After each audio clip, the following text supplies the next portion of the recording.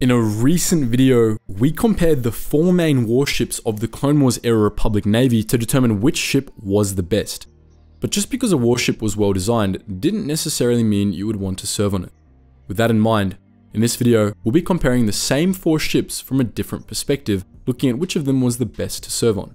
We'll be comparing crew size, the location of crew decks, the durability of the four ships, and the overall survivability of your average crew aboard each vessel.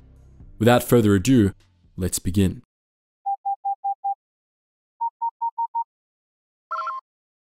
Attention, Sergeant on deck! As before, we're going to start by looking at the runt of the litter, the Arquitens class light cruiser. This ship has no stated crew complement in Legends, but in canon, it's been established that it required only 100 personnel, meaning that crew aboard these ships would have plenty of living space. Truthfully, we know very little about the locational condition of the crewed decks on these cruisers, but then again, even if we did, it wouldn't really matter. The Arquitens was a fragile and rather small ship, and crew stationed anywhere on the vessel had to worry about hull damage and whatnot. The biggest issue with serving on an Arquitens was the cruiser's durability or lack thereof. Consider the following scene from Star Wars The Clone Wars.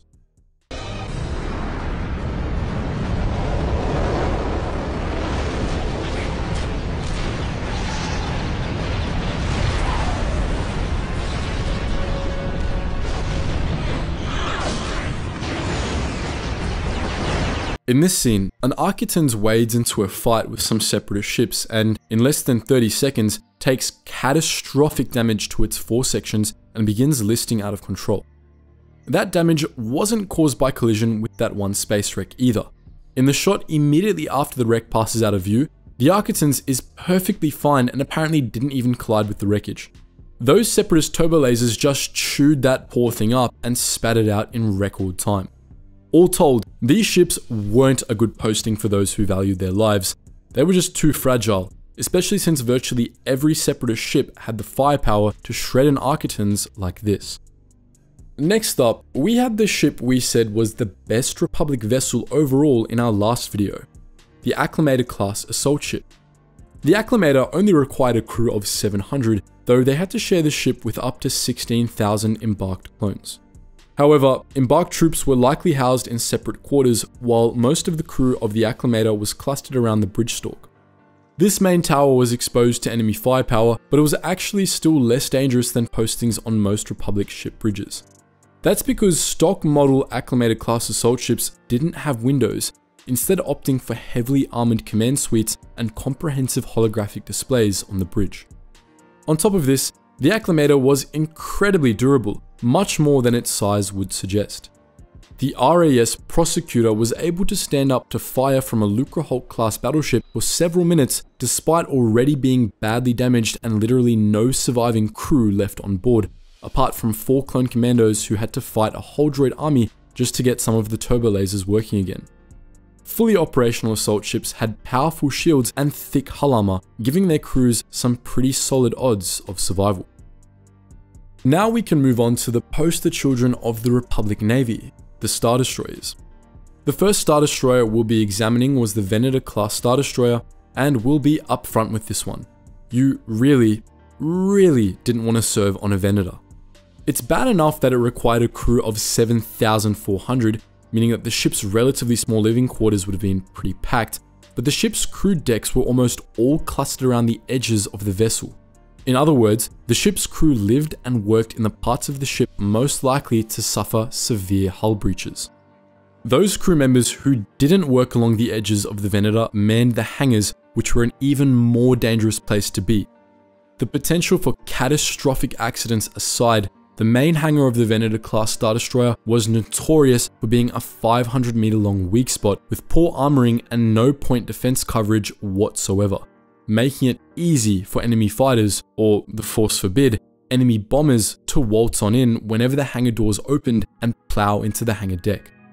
As we've said before, the Venator class Star Destroyer was a carrier, and its use as a frontline battleship was an atrocious tactical decision. The ship had massive weak spots, and most of its crew worked in and around them as their ships flew into the thick of battles they weren't cut out for. A Venator was hands down one of the worst ships to be stationed on during the Clone Wars. But what about the Venator's cooler cousin, the Victory class Star Destroyer?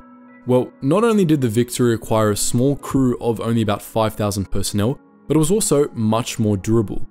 We can't speak to the quality of the Victory's crew decks and don't know for sure where on the ship they were distributed, but based on the later Imperial class Star Destroyer and the Victory's appearance, we would assume that most of them were clustered in the ship's bulky stacked decks below the main bridge stalk, which is much better than having them running along the ship's edges. The bridge section of the Victory, despite still being exposed, was also much more durable and well shielded than those of the Venator and Arquitens, which is another win for crew safety. Additionally, unlike the Venator, the Victory was actually built to be a frontline brawler. It could take a pummeling without suffering catastrophic damage, and it had no major structural weaknesses to speak of. They were so well armored, in fact, that they were still classified as heavily armored decades later during the Galactic Civil War, despite major advances in weapons and armor.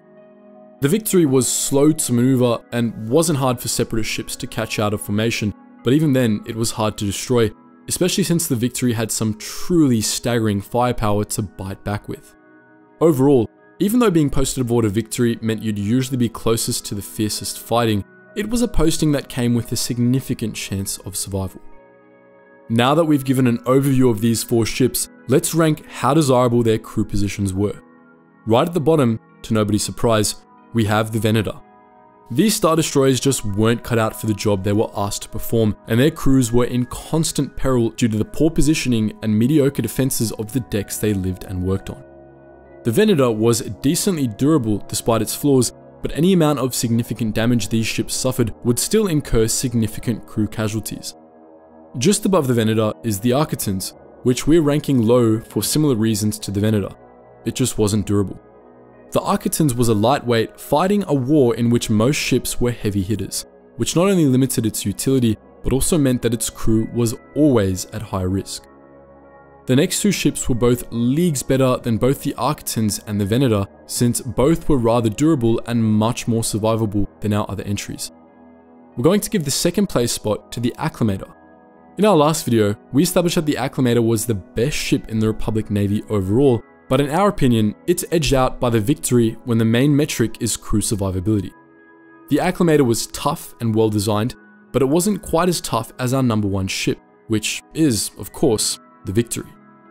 The general lack of weaknesses and the sheer toughness of the Victory is what makes it the best Republic ship to be posted on, in our opinion. The Victory wasn't invincible, but its armor was so tough that it could hold its own in a fight decades after it technically became obsolete. Also worth noting is its tremendous firepower, which also played a role in making it a fairly safe posting. After all, you're less likely to have to worry about hull breaches if the enemy ship has already been reduced to its component parts. So there you have it. If you're in the Republic Navy during the Clone Wars, a Victory class Star Destroyer was generally the best place to be. But that's just our assessment. What do you think? Do you disagree with our rankings? Let us know your thoughts in the comments section below, and as always guys, thank you so much for watching, and I hope to see you in the next video.